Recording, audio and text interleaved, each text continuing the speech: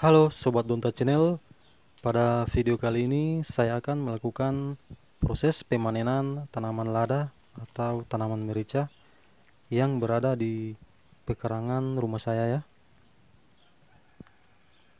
Simak videonya dari awal sampai dengan selesai ya.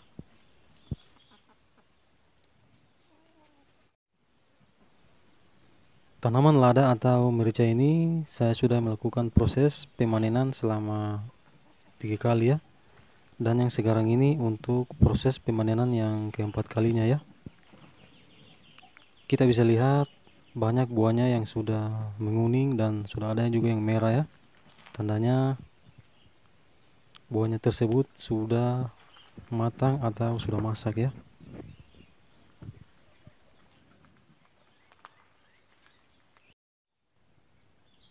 Untuk pemanenan atau cara memetik buah ladanya bisa kita lakukan dengan cara seperti ini ya.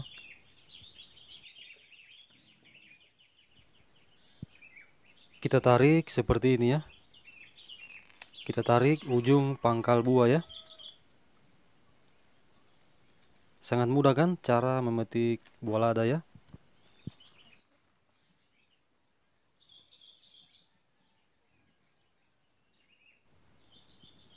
Mantap jiwa.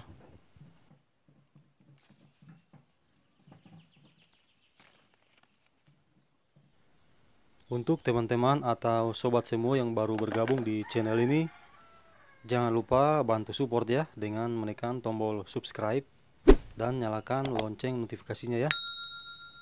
Like, komen, dan share video ini agar channel ini bisa semakin berkembang ya.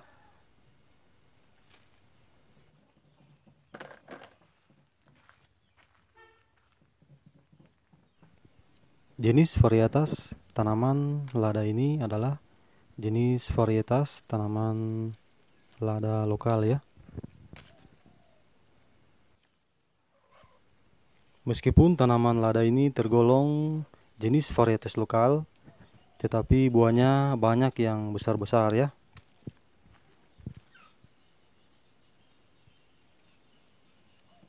Kita bisa lihat seperti ini ya, besar-besar buahnya ya. karena tergantung dari proses pembukaan dan cara perawatan tanaman ladanya ya. Saya memakai tempat ini sebagai tempat untuk memetik buah ladanya ya.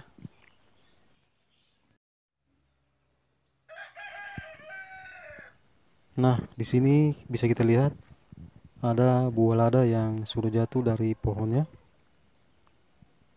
buahnya banyak yang merah ya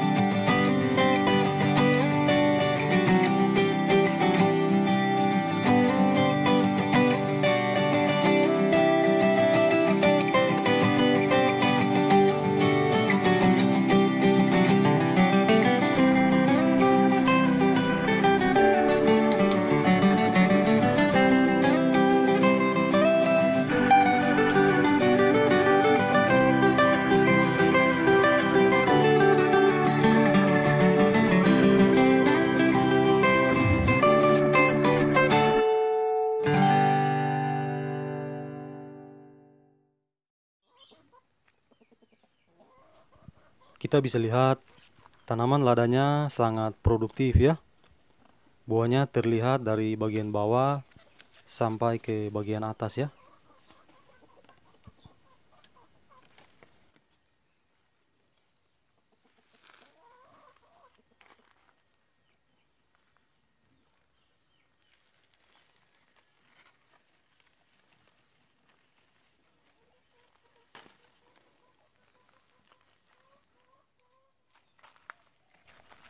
Oke sobat, karena penampungan buah ladanya sudah penuh, jadi saya pindahkan di tempat seperti ini ya, atau di loyang ya, agar memudahkan untuk memetik buah lada yang lainnya ya.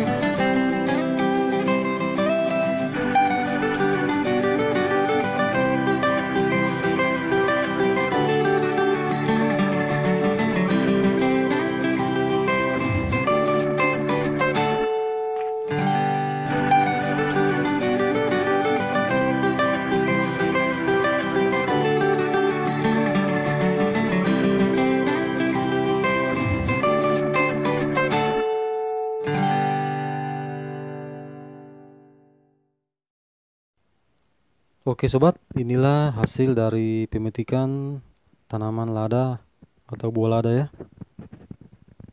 Lumayan untuk bisa dijadikan sebagai bumbu dapur untuk di rumah ya.